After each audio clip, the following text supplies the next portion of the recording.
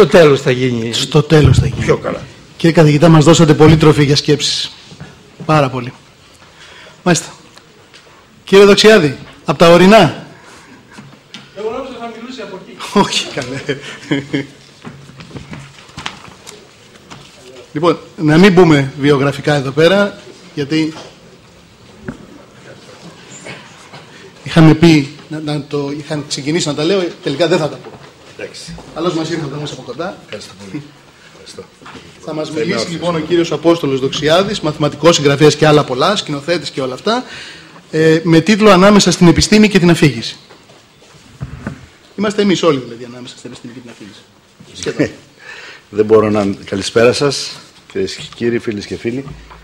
Δεν μπορώ να ανταγωνιστώ τον κύριο Τάσιο ούτε σε επιστήμη ούτε σε αφήγηση, όπως θα άκουσα, αλλά Αυτό είναι σαφές. θα δω τι μπορώ να κάνω. Ε, έχω μισή ώρα περίπου; ναι, ναι, ναι, ναι. Και λίγο παραπάνω. ίσως. Θα κάνουμε και μια συζήτηση μετά. Οκ. Ε, ανάμεσα στην επιστήμη και στην αφήγηση έδωσα ως τίτλο για την σημερινή ομιλία ε, που ταίριαζε έτσι και με το πνεύμα όλης της, ε, όλου του πλαισίου των ομιλιών. Με μία έννοια ο τίτλος αυτός θα μπορούσε να είναι και μία σύνοψη δική μου αυτοβιογραφική αν θέλετε ως τώρα στη ζωή μου γιατί πράγματι η ζωή μου κινήθηκε, κινείται αν θέλετε ανάμεσα στην αφήγηση και στην επιστήμη. Και χωρίς να θέλω να μιλήσω τόσο για τον εαυτό μου θα, επειδή το ταξίδι το δικό μου το προσωπικό λιγάκι ενσαρκώνει για μένα και τα πράγματα με τα οποία έχω ασχοληθεί και με τα οποία όλο ένα και περισσότερο αρχίζουν και συγκλίνουν διάφοροι δρόμοι ε, επιτρέψτε μου λιγάκι το πρώτο μέρος να μιλήσω με κάποιους σταθμούς δικούς μου γιατί στην, όχι για κάποια προσωπικά, προσωπικά στοιχεία ή αποκαλύψεις αλλά ε, για το, τη σχέση με την επιστήμη και την αφήγηση. Καταρχήν να πω ότι λέω αφήγηση και όχι ιστορίες και όχι παραμύθια και όχι ε, μυθιστορήματα, όχι ταινίες, όχι σύριαλ, όχι ανέκδοτα, όχι διάφοροι τρόποι που έχουμε να προσλαμβάνουμε τον κόσμο μέσα από αφηγήσεις. Και λέω αφηγήση, αφήγηση ακριβώς για- όταν θα φτάσω στο τέλος της ιστορίας που είναι μια έννοια πιο τυπική λιγάκι, πιο αυστηρή και αν θέλετε γενικότερη από την ιστορία. Ιστορία με το, την έννοια όχι της επιστήμης, της ιστορίας του Ηροδότου, αλλά αυτό που λέμε στα ελληνικά story που καμιά φορά περιέργως μας έρχεται πιο εύκολα να πούμε το story γιατί το story όπως το χρησιμοποιούν οι ξένοι διαφοροποιούν την ελληνική ρίζα το ιστορία η επιστήμη της ιστορίας από το ιστορία μια αφήγηση. Η έννοια λοιπόν αυτή της, των ιστοριών, να το πω έτσι στο πληθυντικό για να το διαχωρίσω, φυσικά είναι η πρώτη με την οποία έρχεται στη ζωή του κάθε ανθρώπου ο κόσμος και ο, η αντίληψη της πραγματικότητας. Η, νομίζω ότι πολύ πολύ χονδρικά ε, θα, μπορήσει, θα μπορούσε να πει κανείς ότι οι ιστορίες, αν έπρεπε να έχουμε έναν ορισμό, γιατί μιας και αναφερόμαστε και στην επιστήμη, ας έχουμε λιγάκι την αίσθηση του ορισμού, του, του συγκεκριμένου λόγου, θα μπορούσε να πει κανείς ότι η αφήγηση, η ιστορία, συγγνώμη, με αυτή την έννοια που λέμε, είναι ένα, μια υποπερίπτωση του ορισμού της τραγωδίας του Αριστοτέλη. Είναι απλώς μίμησης πράξεως σπουδαίας και τελείας, δηλαδή μίμηση μιας πράξεως που έχει κάποιο ενδιαφέρον ιδιαίτερο και που είναι τελεία με την έννοια ότι έχει αρχή, μέση και τέλος. Τα οποία είναι, είναι ολοκληρωμένη. Οι ιστορίες λοιπόν γενικά είναι πράγματα που έχουν κάποιο ιδιαίτερο, που μιμούνται πράξεις, που έχουν να κάνουν με πράγματα που έγιναν, που κινούνται στο χρόνο και που περιγράφουν πράγματα που είναι με κάποιον τρόπο αρκετά, να το πω έτσι, ενδιαφέροντα ώστε α, να... Συγγνώμη, το γυρίσω αυτό λιγάκι γιατί αναβοσβήνει και με αποσπά. Ε, ότι θα μπορούσαν να είναι αξιομνημόνευτα τόσο ώστε να μεταφέρονται, ώστε να διασώζονται, ώστε να αξίζει να τα πει ο Α στον Β. Και από την άλλη μεριά είναι ολοκληρωμένα, είναι τέλεια με την έννοια του ολοκληρωμένα, δηλαδή έχουν κάποια συνοχή. Δεν είναι απλώς μια διήγηση απλή καθημερινή, το πρωί πήγα εκεί, ξύπνησα, πλήθηκα, αντίθηκα, έπινα τα δόντια μου, πήρα το μετρό, πήγα εκεί, είδα εκείνον κάτι που μπορεί να ρέει έτσι συνεχώς περιγράφοντας το χρόνο. Αυτό μάλιστα είναι μια μορφή και ιστοριογραφίας που η πρώτον η Ρόδοτο ιστορική ή που η Βυζαντινή της μέσης εποχής μετά τα πρώτα χρόνια του Βυζαντίου στα πρώτα το έλεγαν χρονογραφία που είναι μια καταγραφή γεγονότων χωρίς άλλη συνοχή εκτός από τη χρονική σειρά.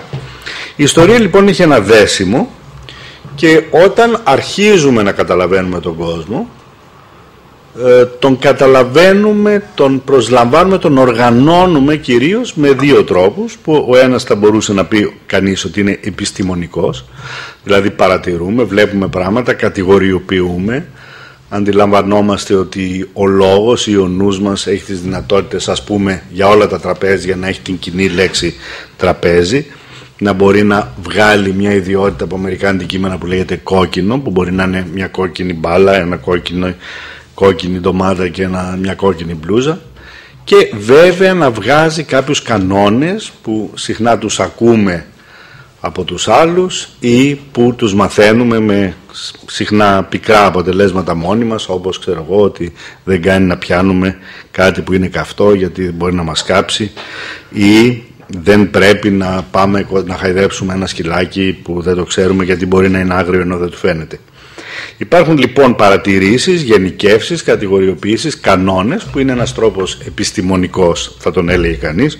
Ο μεγάλος ο βιολόγος, ο γνωσιακός και εκπαιδευτικός ο Ζαν Πιαζέ έχει υπάρξει πρωτοπόρος όπως ξέρετε σίγουρα πολλοί από εσά στη μελέτη το πώς καλλιεργούνται αυτές οι έννοιες, πώς δεν είναι αυτονόητο το πώς το παιδί αποκτά αυτή την λογική επιστημονική σκέψη αλλά σιγά σιγά προχωρεί μέσα από διάφορα στάδια και οργανώνεται μέχρι που στην εφηβεία περίπου, στην προχωρημένη εφηβεία να φτάσει αυτό που λέμε όριμο τρόπο.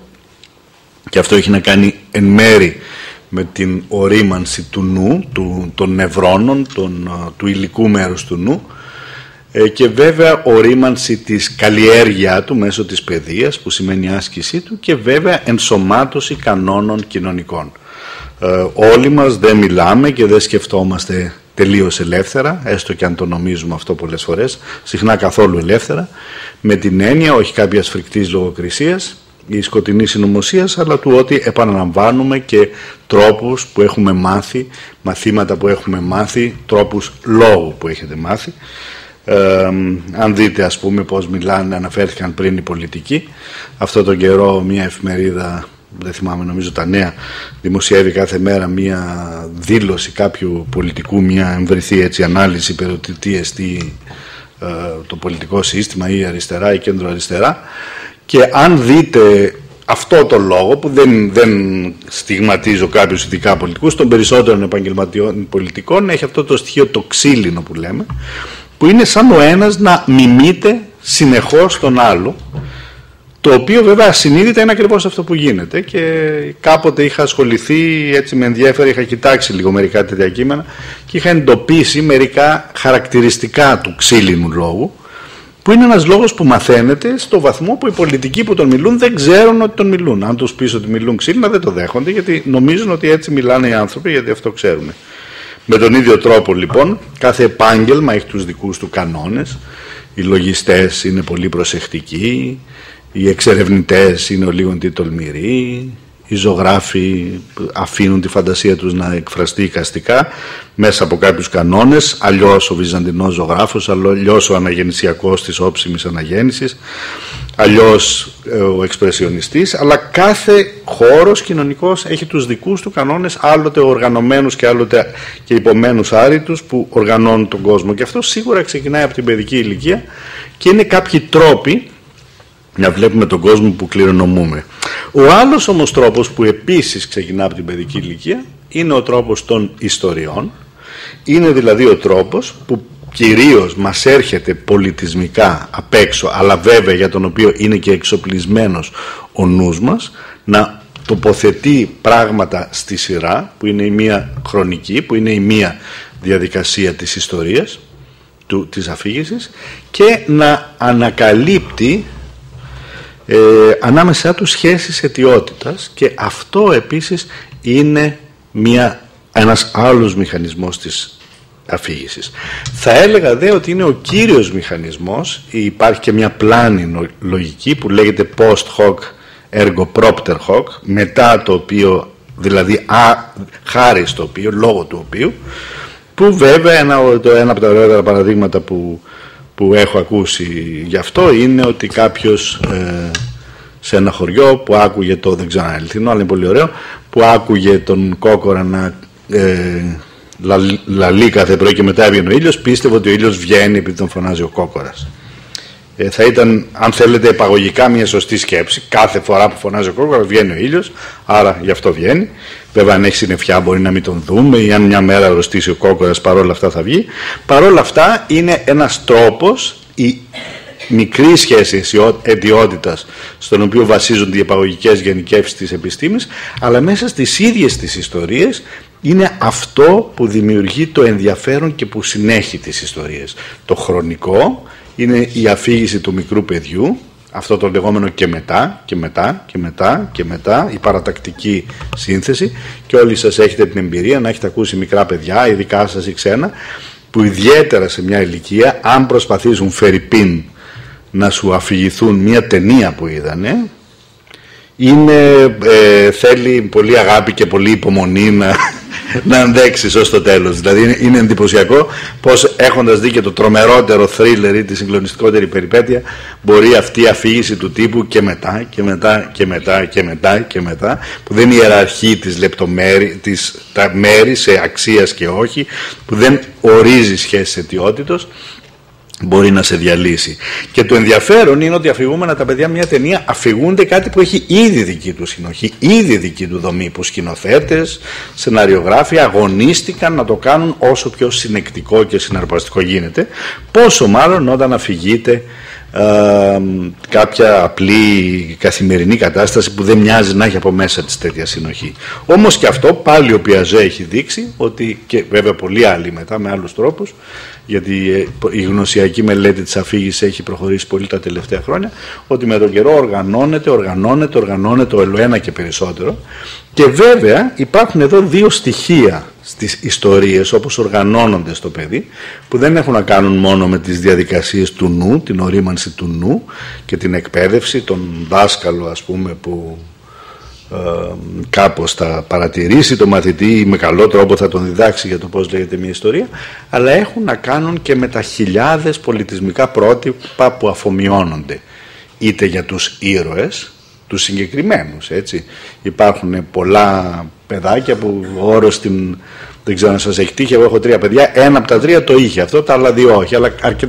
κάποια παιδιά έχουν το λεγόμενο, στα αγγλικά το λένε στην ψυχολογία imaginary friend, ο, ο φανταστικός φίλος όταν είναι μικρά.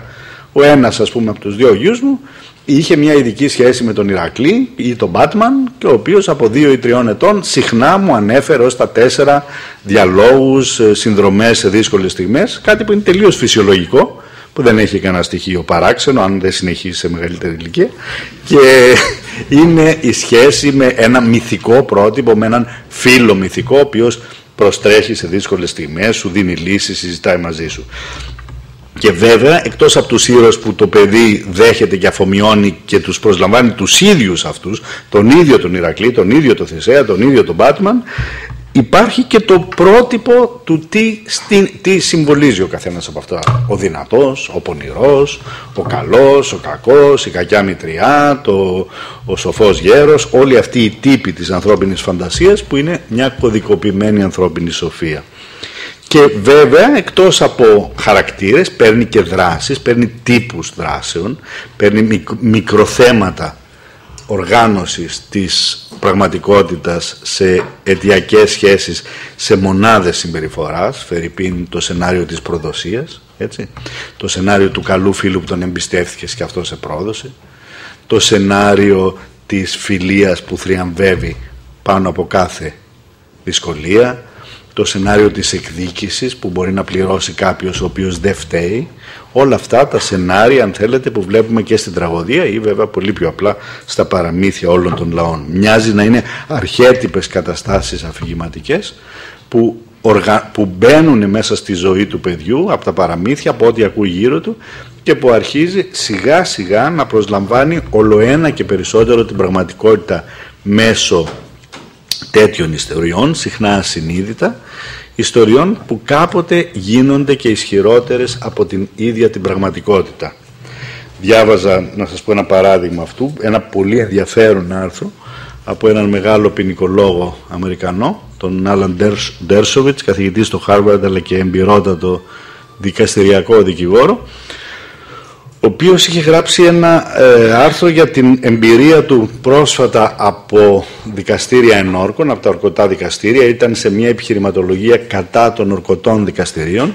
Το άρθρο λεγόταν «Life is not a story», «Η ζωή δεν είναι ιστορία» και έλεγε πως η υπερέκθεση ενός σύγχρονου πολίτη, ενός σύγχρονου κοινού σε άπειρες ώρες αφηγηματικών καταστάσεων μέσα από την τηλεόραση που έχουν 20 ξέρω κλασικά μοτίβα για το πώς μπορεί να συμβούν κάποιοι τύποι εγκλημάτων είναι τόσο ισχυρή που πολλοί δικηγόροι στα δικαστήρια παίζουν με αυτές τις αναμονές για να εντάξουν τα γεγονότα μιας ποινικής υπόθεσης μέσα σε ένα γνωστό αφηγηματικό μοτίβο και αντίστοιχα πολλοί ένορκοι παίρνουν αποφάσεις οι οποίες είναι παράλογες, οι οποίες αδικούν τον κατηγορούμενο για παράδειγμα όταν προβάλλουν πάνω στα γεγονότα που άκουσαν μια δομή ιστορίας γιατί οι άνθρωποι δεν αντέχουν το χάος γιατί τους βολεύει να οργανώνουν την πραγματικότητα μέσω καλουπιών και έχουν το έτοιμο καλούπι της ιστορίας και προβάλλουν αιτιότητες εκεί που δεν υπάρχουν.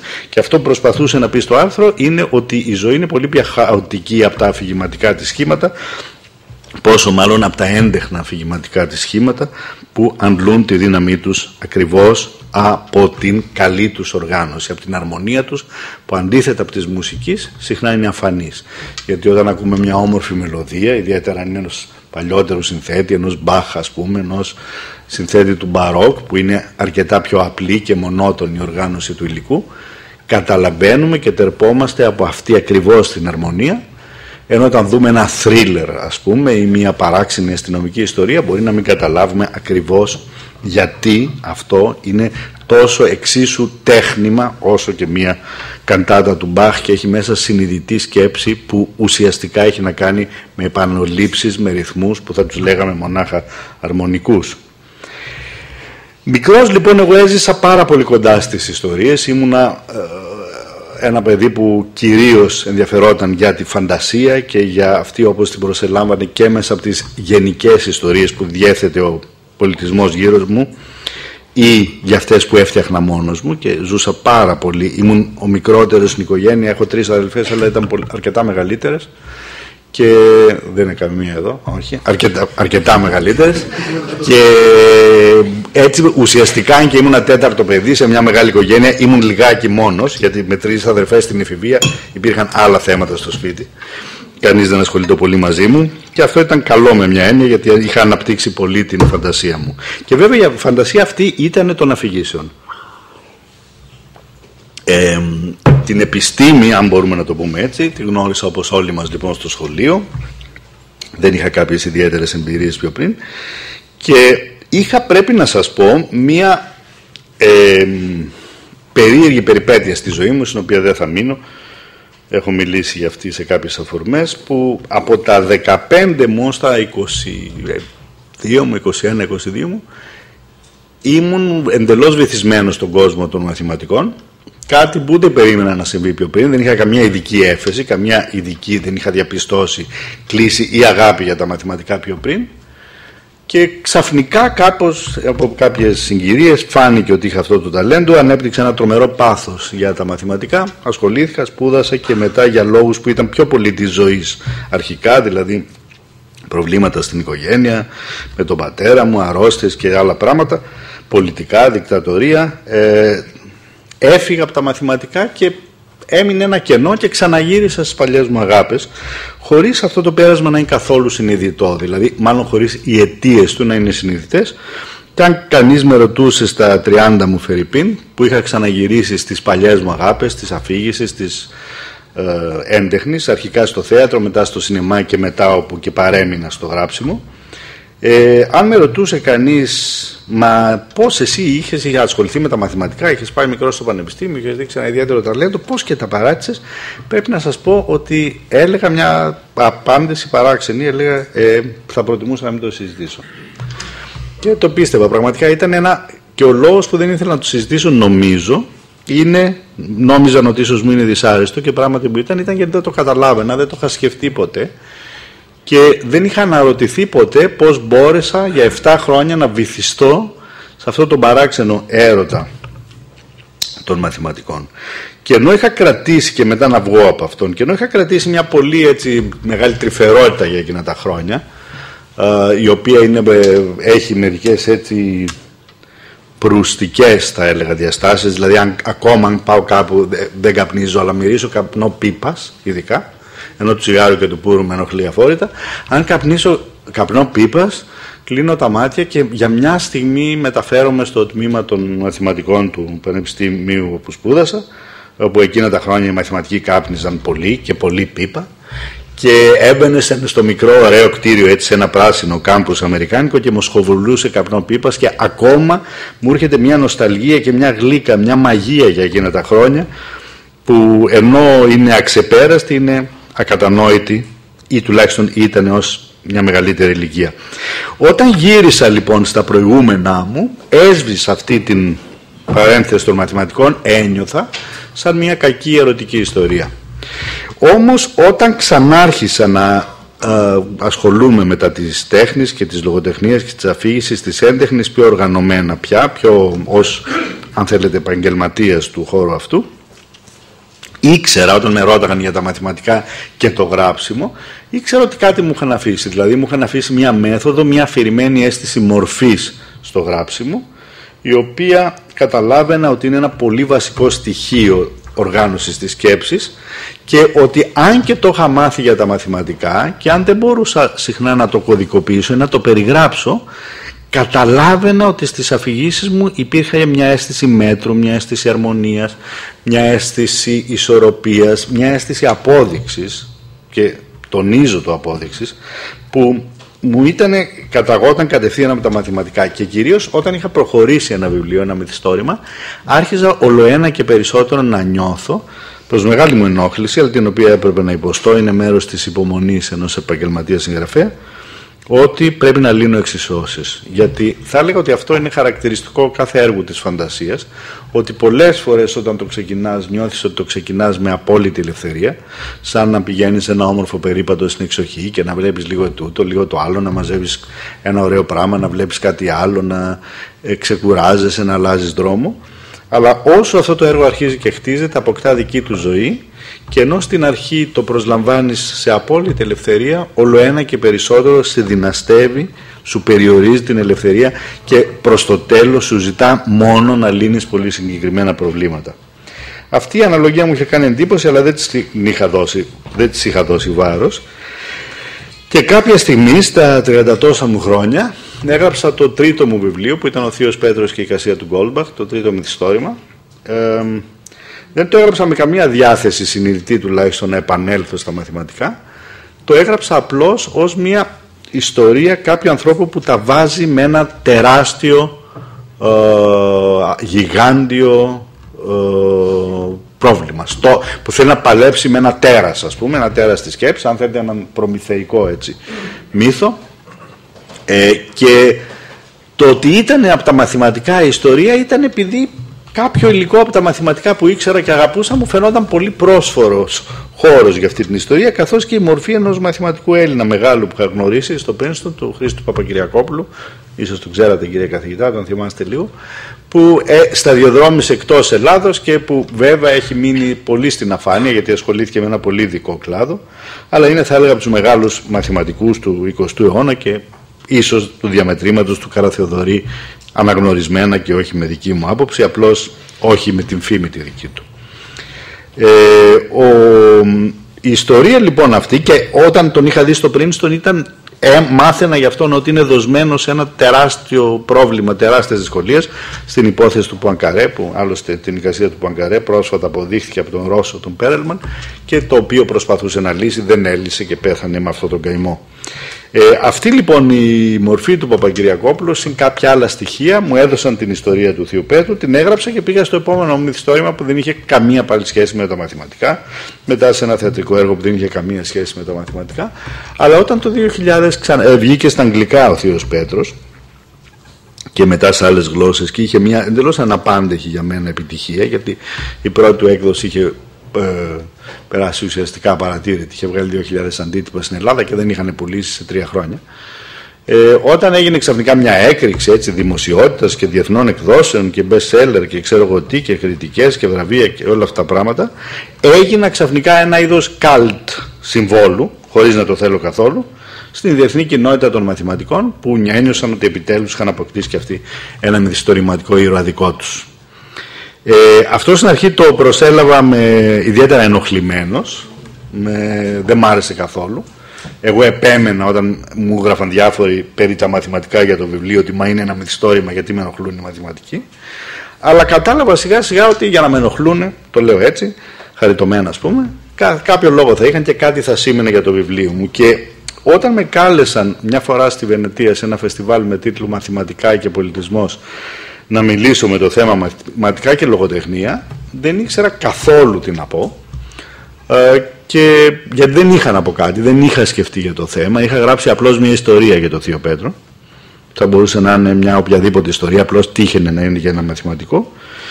Και επειδή δεν ήθελα να πω τις γνωστές αφέλειες ας πούμε που λέει κανείς όταν του δίνουν ένα θέμα για το οποίο δεν έχει τίποτα να πει έκατσα και προβληματίστηκα λιγάκι και ξεκίνησα με ένα σχόλιο που είχε κάνει ένας αναγνώστης ανώνυμος στο Amazon, δηλαδή στο αγγλικό, στο αμερικάνικο βιβλιοπωλείο. Όπως ξέρετε καμιά φορά στα βιβλία γίνονται σχόλια από κάτω και συζήτηση. Ένας αναγνώστης, άγνωστός μου, ούτε τον γνώρισα ποτέ, είχε γράψει μια φράση που μου άλλαξε, αν όχι τη ζωή, τουλάχιστον τα τελευταία 10 χρόνια της ζωής μου, που έλεγε ότι το βιβλίο αυτό διαβάζεται, η ιστορία του Θείου Πέτρου, διαβάζεται σαν απόδειξη μαθηματικού θεωρήματος και το έλεγε ως κοπλιμέντο γιατί για ένα μυθιστόρημα θα μπορούσε αυτό να μην είναι καθόλου κολακευτικό. Αυτός το έλεγε για καλό. Και στη διάλεξη αυτή που έδωσα στη Βενετία προσπάθησα να καταλάβω τι εννοούσε αυτός ο άνθρωπος. Επειδή μόλις διάβασα το σχόλιο του λέω σαν κάποιο δίκιο έχει προσπάθησα στην ομιλία εκείνη να καταλάβω πώς μπορείς να διαβάζετε μια ιστορία και αυτό να είναι καλό σαν απόδειξη μαθηματικού θεωρήματος επειδή δεν έχουμε χρόνο και επειδή είναι τεράστια θέματα όλα αυτά και έχω ασχοληθεί και γράψει και γράφω και θα εκδοθούν και φέτος ένα βιβλίο μου πάνω σε αυτό το θέμα, ε, θα σας πω μόνο ένα πολύ απλό στοιχείο εδώ πέρα, ότι αν θέλει να καταλάβει κανείς γιατί θα μπορούσε ένα ε, μυθιστόρημα να διαβάζεται σαν απόδειξη μαθηματικού θεωρήματος, να μπορεί να πάρει με ένα πολύ πολύ απλό παράδειγμα, που βέβαια είναι πολύ πολύ μικρό μέρος του, του βαθιού, βαθύτατου αυτού ζητήματος, της μιας αστυνομικής ιστορίας. Δηλαδή σε μια αστυνομική ιστορία βλέπουμε ότι η πλοκή, μια τύπου Sherlock Holmes, η Άγκαθα Κρίστη, ενός της παλιάς κυρίως εκεί χρυσής εποχής που λέμε προπολεμικά της Άγκαθα Κρίστη, πράγματι εκεί η πλοκή και η επίλυση ενός προβλήματος αλληλεπιδρούν και η πλοκή πηγαίνει με κάποια βήματα που είναι αντίστοιχα με διάφορα στάδια στην επίλυση ενός προβλήματος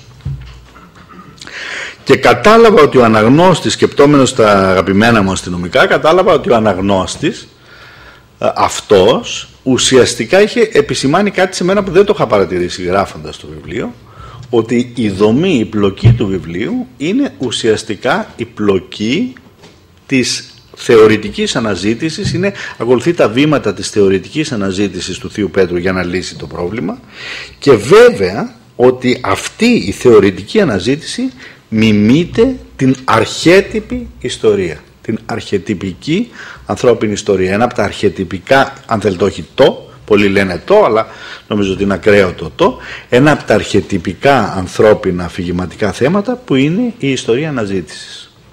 Αυτό που λένε quest story στα αγγλικά, δηλαδή την ιστορία όπου κάποιος έχει να βρει κάτι να λύσει κάτι. Μπορεί κάποτε να να βρει στην Οδύσσια Ιθάκη, στο, στο Γκυλγκαμές, στο μυστικό της, ζωή, της Αθανασίας, στο, στην αναζήτηση του Γκράλ, το, το Γκράλ, το Άγιο Δισκοπότηρο, αλλά που κάποιος και σε πάρα πολλά παραμύθια κάποια μαγική συνταγή που θα γιάνει τον άρρωστο βασιλιά, κάποιο μυστικό που θα λυτρώσει τη φυλακισμένη πριγκίπισσα, που πρέπει να βρει κάτι έχει ένα στόχο ανακάλυψης, έχει μια πορεία με εμπόδια τα οποία καλείται να λύσει, με τεχνικές που πρέπει να βρει, με συμμάχους ή αντιπάλους που θα συναντήσει στο δρόμο και που τελικά στο happy end ο ήρωας το πετυχαίνει και βρίσκει το αντικείμενο.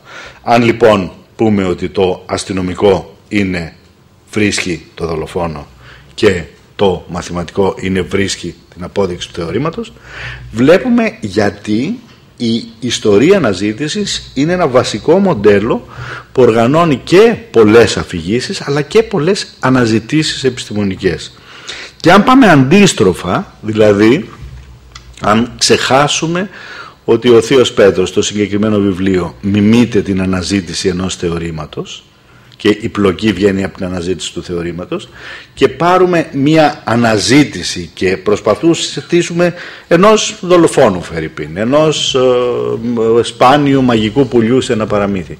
Και προσπαθήσουμε να κάνουμε, αν θέλετε, την, την ακτινογραφία αυτής της αφήγησης ενός παραμυθιού, δηλαδή να ξεχάσουμε τα χρώματα των δέντρων, τις μαγικές ιδιότητες των φίλτρων, την ομορφιά της βασιλοπούλας, το θάρρος του παλικαριού, την κακία της βασίλισσας.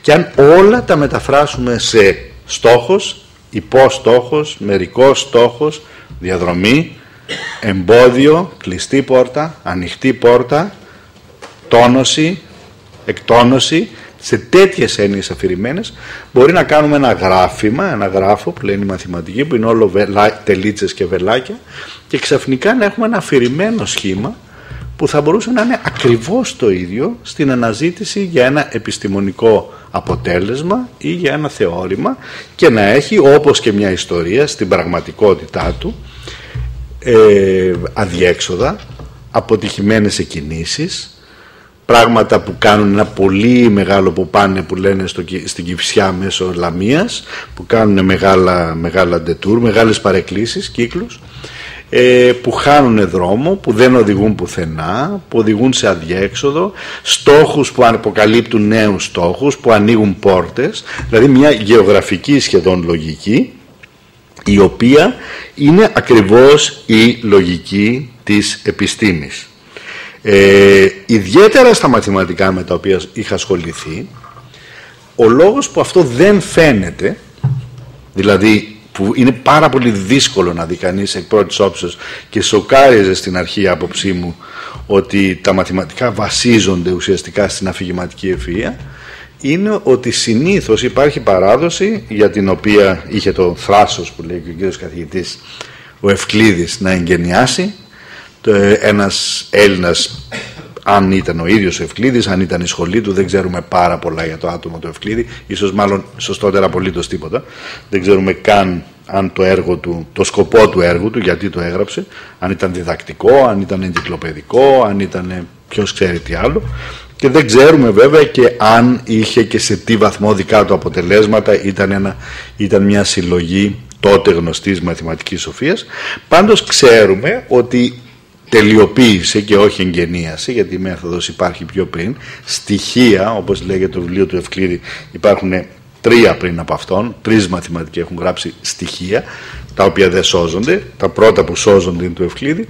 Ο Ευκλήδης εγγενίασε μία μέθοδο παρουσίασης των μαθηματικών αληθιών, η οποία ακόμα και σήμερα ουσιαστικά δυναστεύει ή το λέω όχι χωρίς αξιολόγηση τον τρόπο της μαθηματικής σκέψης. Δηλαδή αρχίζουμε από τους ορισμούς, πάμε στα αξιώματα, στις κοινέ έννοιες και μετά χτίζουμε τα θεωρήματα λίγα λίγα, τα εύκολα πρώτα, τα σύνθετα μετά, ένα δέντρο με ρίζα κάτω τα αξιώματα και τους ορισμούς, με κορμό κάποια πρώτα βασικά θεωρήματα και με κλάδια άλλα θεωρήματα. Αυτός ο τρόπος παρουσίασης, αν διαβάσετε ένα επιστημονικό μαθηματικό περιοδικό, δηλαδή ένα τεχνικό περιοδικό, ένα περιοδικό που απευθύνεται σε μαθηματικούς, που περιέχει πρωτότυπες εργασίες και που αναφέρει την απόδειξη ενός νέου θεωρήματος γιατί τα άρθρα στα μαθηματικά, τα περιοδικά εκτός αν είναι ιστορικά ή παρουσιάζουν την εξέλιξη ενός κλάδου όλα τα πρωτότυπα άρθρα, οι πρωτότυπες δημοσιεύσεις ουσιαστικά αποδεικνύουν ένα ή περισσότερα θεωρήματα για ένα εντυπωσιακό νούμερο είναι περίπου ότι δημοσιεύονται το χρόνο αυτή τη στιγμή μπορεί να πει κανείς ένα αριθμό πόσα καινούρια θεωρήματα δημοσιεύονται το χρόνο στον κόσμο. Κάποια εδώ, κάποια, να υποθέσει κάποιος. Ένα αριθμό, πείτε μου παρακαλώ. Χιλιάδες. Αριθμό, πείτε μου. Να δω ποιος θα πέσει πιο κοντά. Εκατό. Άλλος. Χίλια. Τώρα καθένα θα λέει και παραπάνω. Εντάξει, ωραία. Χίλια, εκατό. Χίλια. Έχω εκατό, έχω χίλια. Δέκα στη Δευτέρα, δέκα στην Τρίτη. Άλλος; 544. 544. Ένα εκατομμύριο διακόσιες περίπου. Ε, βέβαια, περίπου αυτό ίσως ακόμη πιο ενδιαφέρον είναι θα έλεγα ότι το 95 ή 96% των εργασιών αυτών δεν διαβάζονται ούτε από έναν, δεν έχουν ούτε ένα citation, ούτε μία αναφορά. Συχνά δεν διαβάζονται καν από τους, αυτούς τους ανθρώπους που έχουν υποχρέωση να το εγκρίνουν για να δημοσιευθεί. Ε, άρα είναι θεωρήματα γνωστά μόνο στους εφευρέτες τους. Είναι χειρότερα από τις ποιητικές συλλογές, γιατί την ποιητική συλλογή όλο και κάποια θεία θα τη διαβάσει, ενώ το θεώρημα η θεία δυστυχώς δεν μπορεί να το διαβάσει. Ε, και αυτά τα θεωρήματα, από αυτά θα έλεγα ότι το 100 που είπε κάποιος κύριος πρώτα ή το 545 ή το 1000 είναι πολύ εγκύτερα σε αυτά που επιβιώνουν, που έχουν, που επηρεάζουν κάπως την κοινότητα. Αλλά ξέρετε όλα τα άλλα θεωρήματα είναι αληθινά, είναι ακριβή, δεν είναι λάθος γιατί έχουν ελεγχθεί ως προς τον έννοιο σωστά πριν δημοσιευτούν. Όμως αυτά όλα τα θεωρήματα και τα 1.200.000 και πάντως τα 545 ή τα 1000 ή τα 100 σημαντικά ή τα 10 ή σπανιότερα τα πολύ σημαντικά που αλλάζουν κλάδους ολόκληρους είναι θεωρήματα που πάντα δημοσιεύονται με τον ευκλήδιο τρόπο. Δηλαδή το θεώρημα που βασίζεται σε γνωστούς ορισμούς, θεμελιώνεται κάποια ίδια έννοια, νέα έννοια, χρειάζεται και μετά απόδειξη, απόδειξη, απόδειξη. Δηλαδή τι δεν μας λέει η δημοσίευση ενός θεωρήματος. Δεν μας λέει την ιστορία του πώς ανακαλύφθηκε. Και η ιστορία του πώς ανακαλύφθηκε είναι μια ιστορία αναζήτησης. Το ίδιο το θεώρημα δεν θα έχει αδιέξοδα, εκτός αν έχει ενός τύπου αδιέξοδο, το οποίο λατρεύουν οι μαθηματικοί, το, το, την, την εισάτοπον απαγωγή. Έτσι. Η εισάτοπο απαγωγή είναι η μεγάλη εφεύρεση των αρχαίων Ελλήνων, που ήταν το αδιέξοδο εκείνο το οποίο οδηγεί στην αλήθεια. Δηλαδή διαλέγεις έναν δρόμο που σε οδηγεί στην αλήθεια όταν αποδεικνύεται ότι ο δρόμος αυτός είναι λάθος και όπως είπε και ο Στοικός, ο Χρήσιπος, μια ιστορία που μου αρέσει πάρα πολύ, οι άνθρωποι βρήκαν λέει, την εισάτομο απαγωγή παρακολουθώντας το σκύλο, ο οποίος όταν ψάχνει τα ίχνη στο δάσος για να βρει ένα κόκαλο ή ένα θύραμα, πάει σε έναν δρόμο, πάει, πάει, πάει, πάει και αν δεν από εκεί δεν στρίβει να πάει προς τα εκεί που νομίζει, αλλά γυρνάει πίσω και πάει σε άλλο μονοπάτι. Λοιπόν, αυτό αν το κάνεις μία φορά, αν έχεις μόνο δύο δρόμους και είναι ή ο ένας ή ο άλλος, ή τρίτου ή μέσο απόκλησης που λέγεται, και βεβαιωθείς ότι δεν είναι το ένα, είναι το άλλο, και εκεί είναι όλη η δόξα των αρχαίων μαθηματικών, οι μεγάλες πρώτες αποδείξεις, η απειρία των πρώτων, του Ευκλήδη, το άρετο της ρίζας 2 του Πυθαγόρα, βασίζονται στην εισάτοπον απαγωγή. Θα τελειώσω κι εγώ σε πέντε, πέντε, σε πέντε λεπτά. Ε, ναι, ε? ε ναι, τώρα δεν πειράζει. Πιο λίγα; Τρία. Σε τρία. Τρία. Εντάξει. Να είναι άρτιος αριθμός. Ναι. Ε, συγγνώμη, μονός. Λοιπόν, ε, περιτός, σωστά. Ε, συγχωρέστε με, αλλά πάντα έμαθα τα μαθηματικά μου στα αγγλικά και ύστερα από τόσα χρόνια δυσκολεύομαι. Τα μπλέκω. Λοιπόν, ε, και άρτιος βέβαια είναι. Ακέραιος. Λοιπόν, το θέμα είναι το εξής, ότι με αυτό, αυτή η πορεία που σας λέω, των 10 τελευταίων ετών, είχε μέσα και ένα άλλο βιβλίο για τα μαθηματικά που μου πήρε 5-6 χρόνια, το Logic Comics, που αναφερόταν σε μια αφήγηση μιας πραγματικής ιστορίας για τη γέννηση των μαθηματικών. Είχε και ένα θεατρικό έργο, ένα έργο για τον Kurt Gödel, μια ανάπλαση των τελευταίων ημερών του που λεγόταν η 17η νύχτα, παίχτηκε στην Αθήνα και είχε και πολλές αναζητήσεις ομιλίες αλλά κυρίως είχε τη μεγάλη αναζήτηση για το ποια είναι η σχέση ιστορικά ανάμεσα στην αφήγηση και στην μαθηματική απόδειξη και αυτό που ήταν ένα παράλληλο θέμα, δηλαδή ό,τι άλλο και να έκανα τα τελευταία 10 χρόνια και παράλληλα με το Logic Comics και όλα τα άλλα, πάρα πολλοί χρόνος μου ήταν γι' αυτό. Ε, θα δημοσιευθεί αυτό και ίσως τότε θα χρειάζονται και αρκετές άλλες ομιλίες, πολύ πιο τεχνικές. Έχω μιλήσει και σε μερικά μέρη γι' αυτό. Μπορείτε να βρείτε και στο website του Θαλής και φίλοι αν σας ενδιαφέρει το θέμα. Ε, υπάρχει μια ομιλία μου στην Νάουσα, η Μαθίας, σε ένα διδακτικό σεμινάριο. Υπάρχει μια ομιλία στα ελληνικά που λέγεται, αν δεν κάνω λάθος, από την uh, η Απόδειξης. Και είναι μια ομιλία μιας ώρας που μιλώ πάρα πολύ γι' αυτό πολύ ειδικά το θέμα και υπάρχει η θεωρία ολόκληρη ας πούμε η οποία θα δημοσιευθεί την Άνοιξη που δείχνει με ποιον τρόπο στην αρχαία Ελλάδα ουσιαστικά χρησιμοποιώντας αφηγη...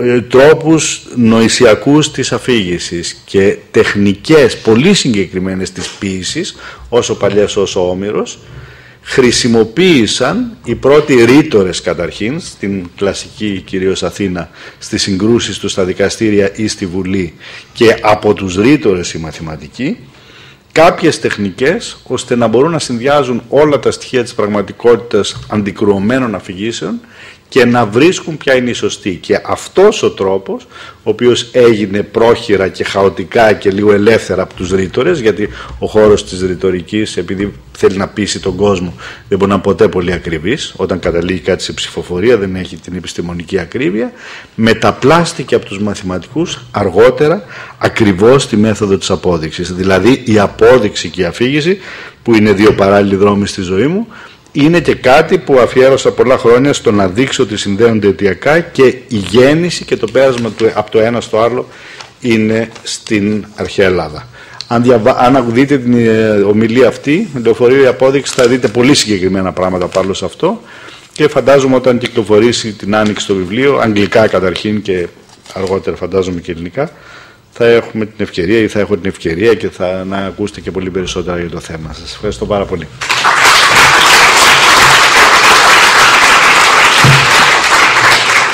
Ευχαριστούμε πάρα πολύ τον κύριο Δοξιάδη για αυτή την εξομολόγηση θα την έλεγα ως ένα σημείο. Έτσι. Με την καλή. Ε, με την καλή πάντα. Προφανώς, προφανώς, προφανώς. Δεν προφούντεις.